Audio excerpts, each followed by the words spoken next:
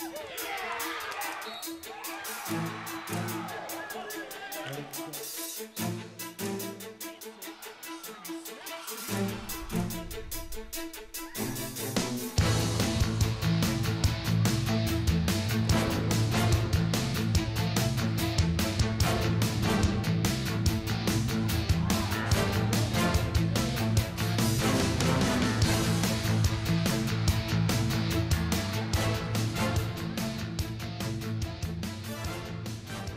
Good evening, I'm David Brown, and welcome to the Northern Sun Experience. And congratulations are in order this week for everyone at MSU Moorhead. The Dragons men's and women's basketball teams have at least clinched a share of their respective regular season titles. MSU's men have won five games in a row, including a pair of victories over Bemidji State and Minnesota Crookston this past weekend. The Dragons sit at 17 and 3 in the conference, 22 and 4 overall. Coupled with a Northern State loss this weekend, MSU Moorhead is the North Division champion, or at least the co-champion, as well as the top seed heading into the conference tournament next Wednesday. MSU Moorhead's women, meanwhile, have won four in a row and are 18 and 2 in conference play, 21 and 3 overall. The Dragons are a full three games clear of every other NSIC team and will also be the top seed once the conference tournament starts. And when we come back, we'll break down MSU Moorhead's regular season conference titles with our analyst Jordan Dalton. The Northern Sun Experience on Midco Sports Network is presented by Sanford Orthopedics and Sports Medicine and Dakota Land Honda.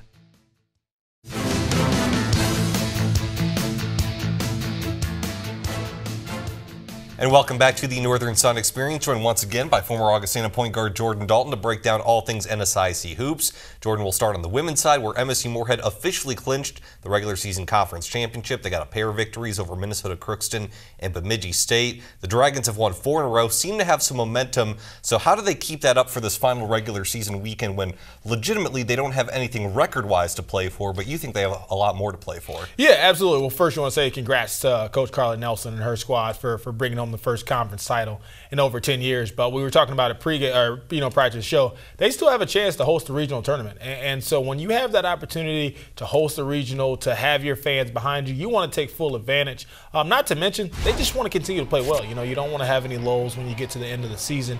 You know, they've been a great defensive team. I think in the last seven games, no team has scored more than 70 points on them.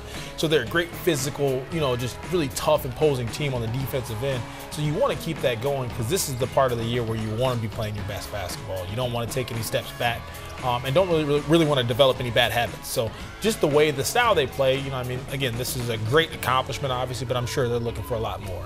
They're at St. Cloud State and at Minnesota Duluth this weekend. Minnesota State Moorhead came out in the latest WBCA poll as 12th overall, could put them in that top two for that Central Region hosting. So certainly a lot to play for, regardless of what happens in the conference tournament coming up.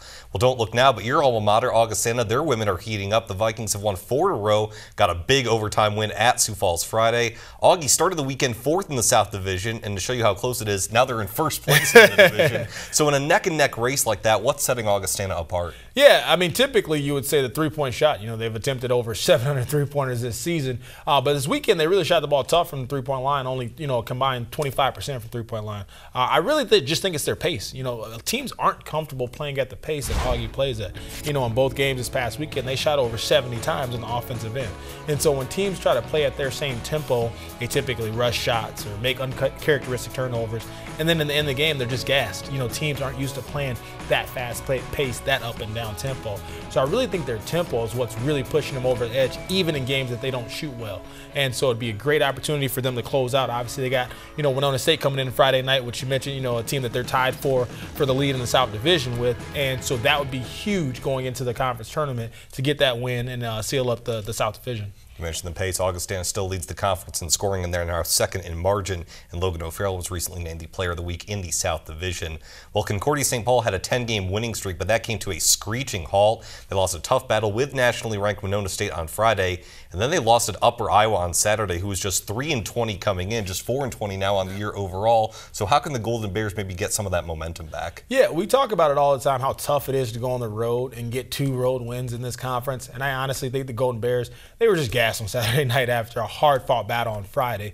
Um, and so I really think for them to get back to their winning ways, they have to establish Caitlin Russell down low on the block. You know, she's one of the best post players in the conference. She's she's great at scoring on her own, but more importantly, she draws double teams. And so when you give her touches down low on the block, teams have to make a decision. Are they going to single cover her and just take their chances uh, as far as getting stops on a consistent basis? Or are they going to send double teams, which open up other shots on the perimeter for her teammates? And so I really think the more you establish that, that low post presence, it just makes the game so much easier uh, for them on the offensive end. And, and, so, again, in order for them to get back to where they want to, they have to be so much more efficient on the offensive end. And I really think it starts down low with Russell.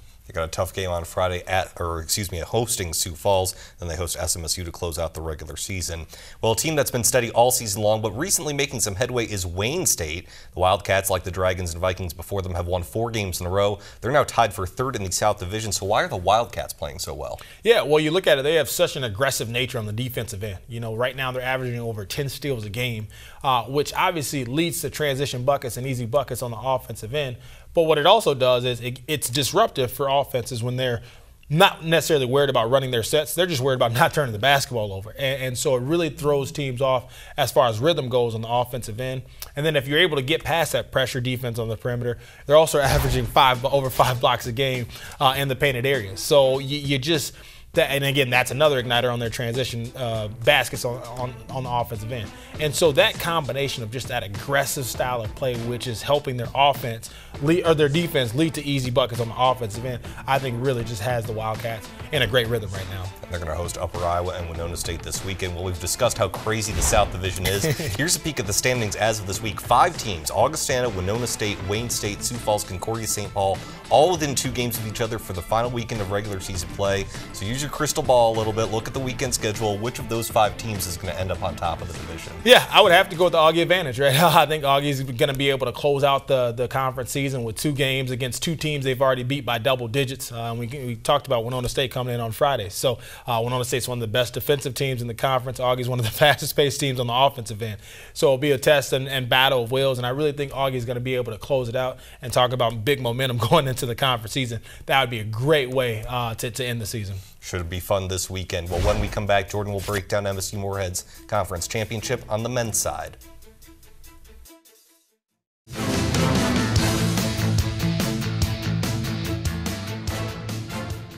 And welcome back to the Northern Sun Experience. Once again, joined by Jordan Dalton. We're going to talk men's hoops now. Like the women, MSU Moorhead's men also clinched the regular season conference championship, at least a share of it right now. So, like their female counterparts, how do the Dragons stay motivated into this final regular season weekend? Because obviously they have a share of the title, but they want the outright title. Absolutely. And, again, hats off to the Dragons for clinching at least a share of the title for the fourth straight season. You know, that shows really the, the depth and the, the foundation of a great basketball program. So, congrats to Coach Chad Walthall um, and his program. Uh, but I think for, for the Dragons to continue, again, they're, they're the best offense in the conference. You know, they have such dynamic players on the offensive end who can get shots both for themselves and teammates. I don't see any of that changing. Again, you know, when you play, when you have a great offense, it's all about rhythm and timing, right? And, and so you want to continue to have that type of confidence, that type of rhythm as you go into the conference season.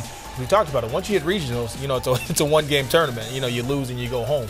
And so they don't want to develop any bad habits. They want that rhythm to continue on on the offensive end. And I don't see them changing up anything this uh, this upcoming weekend. You mentioned the prolific offense. They're averaging more than 90 points a game. And by the way, with the Moorhead Dragon women and men clinching at least a share of the conference title, first time two teams on both the men's and women's side have claimed those since Southwest Minnesota State back in the year 2001. So congrats all around to MSU Moorhead. Well, Augustana got a big weekend from Jordan Spencer, NSIC South Division Player of the Week. He helped them to a big road win at Sioux Falls, and then 39 points at Southwest Minnesota State. The Vikings have won six of their past seven games. So are they peaking right now? Yeah, talk about resiliency. You know, uh, Spencer went three for 11 Friday night against uh, University of Sioux Falls and a bounce back with your career high. Not too bad of a bounce back performance, but uh, I do think they're they're just winning close games. We talked about it all season long. Even when they were losing games early in the season, it was typically by five points or less. You know, so they were one or two possessions away from being a really really good team. And right now, I just think they're finding ways to win some of those close games. Um, you know, this isn't their, your traditional Augie team where they don't have a ton of low post scoring, but what they do have is great shooters from the outside. Uh, you know, between Spencer Busak and, or Busak and um, Steven Schaefer, all of those guys have hit over 43 pointers this season. And so they have to hit shots consistently from the outside to make up for that lack of uh, low post presence. And right now, I think Augie's just been shooting the basketball really well, uh, which in turns allows them to set their defense on the on the other end. And so I do think they're playing some of their best basketball games right now. But I also just think they're finding ways to win close games. And moving into the tournament season, that's what you're going to have to do. Speaking of close games, Augustana has Upper Iowa coming up on Saturday in the final regular season game. Upper Iowa beat Augustana on a last-second three-pointer earlier this season. Meanwhile, in, uh, in opposition to Augustana, Sioux Falls has reversed course. The Cougars had a six-game winning streak earlier this year. Now they're on a six-game losing streak, and no matter what happens this weekend, they're going to have to go on the road in round one of the conference tournament. So how can the Cougars get some of that mojo back? Well, it's a heartbreaker uh, loss against or Augustana University on Friday night. Mac Johnson had a great shot at the end to tie it up, just didn't fall. But I really think for for the Cougars, it all starts on the defensive end. You know, they are the best defense in the conference, but in their last seven games, uh, excuse me, in five of the last six games, they've given up 80 points or more uh, in the in that six-game losing streak. And so you just can't give up 80 points consistently and expect to win basketball games. You know, they were built on earlier this season when they were winning games switching up defenses, throwing teams off a rhythm, you know, looking, having different looks, whether it's zone, man, or a hybrid or combination or kind of a junk defense. And right now, they just haven't been able to get stops consistently. Teams have been able to live in the paint and really get easy shots and finish those easy shots in the in the painted area. So I think for the Cougars to get back on track, they're going to have to lock up on the defensive end. They're going to have to start causing some chaos and some confusion. They play best when, for lack of a better term, games are ugly, right? So they want to they they don't want to flow. They don't want to get rhythm to the game game. They want to make the game ugly, and I think they have to get back to, uh, to that that style of play if they want to get back to winning basketball games. It's such a cliche about valuing the ball and valuing possessions, but USF in games decided by two points or less, they're 0 for 7. so it shows they've been a little bit snake bitten, but obviously they'll still need to turn things around. Well, St. Cloud State had a mixed bag this weekend 20 point loss at UMary, who's below 500, and then they needed overtime to beat Minot State. They're in the pack for a number two seed in the North Division, so can the Huskies get things going here? Yeah, well, and when you look at the Huskies, they're a tough team to figure out, uh, mainly just because they're so top heavy. You know, they rely on Gage Davis for a lot on the offensive end. And so I, I, think, you know, I mean, he's obviously one of the most talented offensive players that we have in the NSIC. But too often, I think his teammates just kind of watch him play and wait for him to make great plays. And so that's tough when that type of responsibility, night in and night out, is your team counting on you to get 30, 35, 40 points a game to have a shot to win games. Um, but kind of sound like a broken record, but they're going to have to play some defense. You know, they've given up, they gave up 80 points both time, both games this weekend. They're just not going to be able to overcome that type of deficit on the offensive end um, on a nightly basis. And they got a tough weekend to wrap things up against Northern State and MSU Moorhead. Well, we asked it on the women's side. On the men's side, South Division also up for grabs. Upper Iowa, SMSU tied at 15 and 5. Augie one back. Minnesota State with an outside shot. So who emerges as the South Division champ on the men's side? Yeah, I'd go with Southwest Minnesota State. You know, they've been at the top of the conference all season. They're a team that's coached great by Coach Bigler. Um, they just play hard. And so you'd like to see that consistency pays off. Uh, so I'll roll with the Mustangs this weekend. All right, sounds good. Thank you very much, Jordan. Well, when we come back, our Under the Northern Sun feature showcases the University of Mary.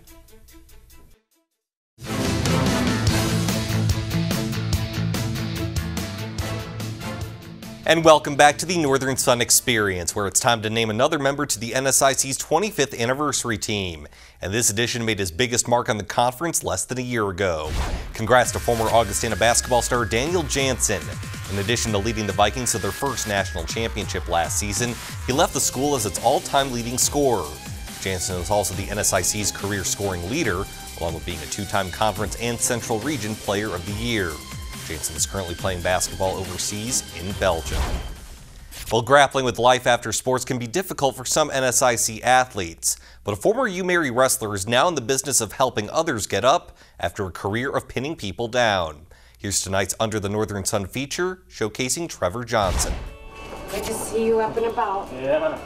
Ever since graduating from the University of Mary, this has been the scene for Trevor Johnson, former wrestler and now a nurse in the ER at Sanford Health in Bismarck, but let's go back to before scrubs became his work uniform. When I was four years old, my dad wrestled for Napoleon and then BJC back in the day, and then UMary for two years as well. So um, he started my brother and I out when we were four and five years old. What started as just a young kid in the mat pack continued throughout high school at Bismarck, the most tradition rich program in the state, a program the Johnson family played a part of building. It was kind of cool for my brother and I because our head coach at Bismarck High was my dad's head coach at BJC when he was in college, Jeff Schumacher. After having to transfer to Century in seventh grade, where his brother Tyler was a state place winner, the brothers went back to BHS to continue the tradition. And we transferred to Bismarck High just because that was where my uncle went to high school, and we've been wrestling in Mat Pack for a, a long time in the Bismarck High Room. And it was a place where we knew we wanted to go wrestle for Jeff and, and Scott Nolan. It was, there's no way I would have wrestled in college if I wasn't that Bismarck guy, so. Trevor was a two time state champion and he placed every year. But after high school came college. I was recruited very lightly to wrestle in college. My brother was at NDSU, um, and their assistant coach did pretty much all the recruiting there at that time. And he came and sat down with me in my house before football practice, um, twice actually. Um, so I decided to go to NDSU when I was a true freshman. After a redshirt season, Trevor realized that wrestling at a Division One level wasn't for him, and that's when he transferred to the University of Mary. I think why UMary because initially because it was home and you know I needed some financial support. I wasn't going to be able to do stuff on my own at that point. Um, and I didn't have any, didn't really have a religious background either, so that kind of flourished. I thought about not even wrestling when I came back, just because I was so burnt out from NDSU. Um, and I came back and talked to um, Coach Brogan and asked if there was any scholarship opportunities, if they had any money left for scholarships. And he said they had some, and I said, well, I suppose I'll, you know, I might as well. I, it's, it's a way to help me out with tuition and once Trevor started competing for the Marauders, his success was instant. Johnson was a Division II All American, but it's not easy taking part in this sport and studying in the nursing program. Well, my mom's been a nurse for uh, 20, over 20 years, almost 20 years, and it was, and this is a, you know, when you get into a program, you say, why did you, when you're in the first part of a, any kind of program for a bachelor degree, they ask you why, you know, why'd you choose nursing?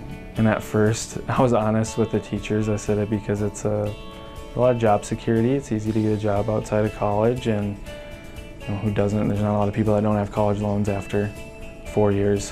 What started out as job security turned into a passion worth working for. It's not a very easy program to be in when you're in athletics either because it's very um, extensive and there's a lot of clinicals, a lot of coursework, and you're busy all week long every week. So um, know, it was just, it was, it got pretty tough at times, but I was also lucky to have a coach to, that kind of gave me some leeway because it was, if I had to choose wrestling or nursing at that point, I would have chosen nursing. You can't wrestle forever. Since graduating from the University of Mary, Trevor works full time at Sanford in the ER and misses wrestling more than ever. Every day. um, that's also kind of a loaded question because um, I still volunteer coach at UMary, and when I was a senior, um, after I graduated, the coach, we had a new coach my senior year, and he asked if I wanted to coach. I said I would love to, but I obviously got a job here and I wanted to get a lot of experience. So I just told him I would volunteer and get out there as much as I can. Johnson continues to help with as much as he can, whether it's in the emergency room or on the wrestling mat. When we come back, a recap of a couple of conference championships this past weekend in swimming and diving, as well as indoor track and field. The Northern Sun Experience on Midco Sports Network is presented by Sanford Orthopedics and Sports Medicine and Dakota Land Honda.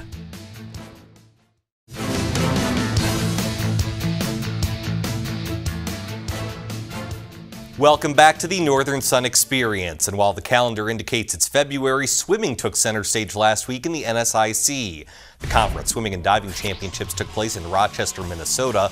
Swimming and diving came back as an affiliated NSIC sport this season after a two year absence. And despite the wait, St. Cloud State picked up right where it left off. The Huskies won their third team championship in three attempts. SCSU also won the 2013 and 2014 Swimming and Diving Championships. Overall, 14 new conference records were set over the course of the 22 events. Here are the full team results. St. Cloud State wins with 1,069 points, more than 200 points ahead of second place Minnesota State. MSU Moorhead finishes third, followed by Northern State, Augustana, Sioux Falls, and UMary. Individual honors went to Northern State's Hannah Castigar, who was named Swimmer of the Year as well as Swimmer of the Meet, accumulating 80 total points. The conference's Diver of the Year is St. Cloud State's Britton Thompson, while the Diver of the Meet is Minnesota State's J.C. Klein, who amassed 37 points. Meanwhile, over in Mankato, the NSIC Indoor Track and Field Multi-Event Championships took place, and for the second year in a row, Augustana's Olivia Montez Brown took home the gold in the pentathlon. The Viking sophomore won the 60 meter hurdles and the long jump, while finishing in the top three in the high jump and the shot put. Afterwards, Montez Brown was humble about winning back to back titles. Like, I just forget those things. Like, I love to run, so I just go out there and do it for the fun of it and show that my hard work has like paid off. So the fact that I've won it again, it's I think it's a nice feeling for me and for the team and my coaches. Brown finishes with 3,838 points, more than 250 points, ahead of second place Wakpor Ahovaja of Concordia St. Paul. The Golden Bears' Callie Burney is third, followed by St. Cloud State's Natalie Gottschalk and Minnesota State's Carolyn Hackle. Meanwhile, also in Mankato, the men's heptathlon crowned a champion. Wayne State's Robert Sullivan took home the gold, finishing first in the shot put and second in the long jump. The sophomore Wildcat scored 5,141 points, finishing 59 points ahead of second place Teddy Frid of Sioux Falls. Sullivan's teammate Derek Lom finishes in third, UMary's Sven Dunkel is fourth, and Minnesota State's Jack Curtis is fifth. The NSIC Indoor Track and Field Championships continue with individual events on February 24th and 25th in Mankato. Once again, a thank you to all of our NSIC member schools. As a reminder, next week's show will air one day earlier on Wednesday, February 22nd at 5 p.m., where we'll preview the entire NSIC Conference Basketball Tournament. And remember, Midco Sports Network is your tournament headquarters with the semifinals and championships on February 27th and 28th. We'll see you next week for yet another Northern Sun Experience.